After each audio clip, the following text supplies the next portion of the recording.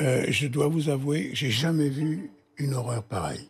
Oser faire l'affaire Bocassa sans raconter la fin mais c'est une honte, monsieur. Alors, c'est une honte, monsieur. On reprend point par point ce qui va pas. Allez-y. Parce que ça, vous, vous avez évoqué ces deux exemples que je vous ai donnés. Laissez-moi finir, excusez-moi. Je vous en prie. Si votre, euh, votre patron, là, il est pas content, il va se faire foutre. Moi, j'étais pas là pour censurer. non, non, mais j'étais pas là pour censurer. Vous voyez, alors vous allez pas me censurer, moi, à présent. je finis ou je me barre. Mais vous m'écoutez Vous avez le choix. Alors, vous savez, je connais des boîtes qui empruntent beaucoup plus d'argent qui n'en ont et qui, et qui, et qui euh, s'achètent des chaînes de télé, qui s'achètent des journaux, enfin bref, ceux-là, ils prennent des risques.